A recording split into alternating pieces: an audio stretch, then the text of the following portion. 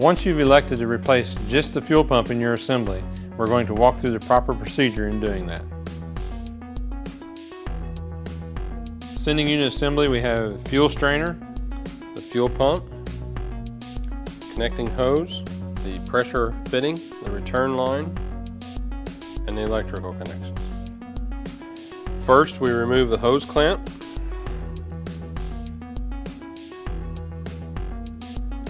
Now we will take a knife and cut the hose from the hanger assembly.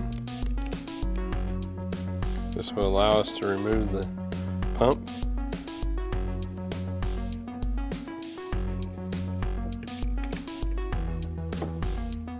Remove the electrical connections.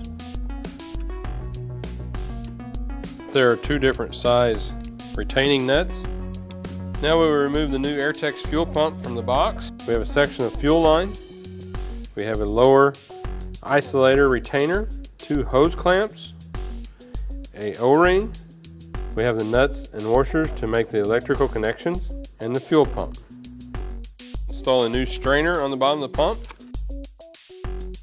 Install a retaining clip. May take a small socket and push this retainer into place.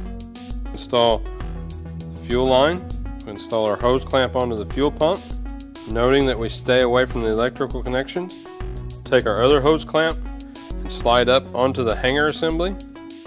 Take our fuel pump isolator and install on the bottom of the fuel pump, holding it in place while we slide the hose onto the hanger assembly. And we will have to position our pump, push the pump securely down onto the bottom of the hanger assembly. Take our hop hose clamp and install it onto the fuel line. Install our electrical connector.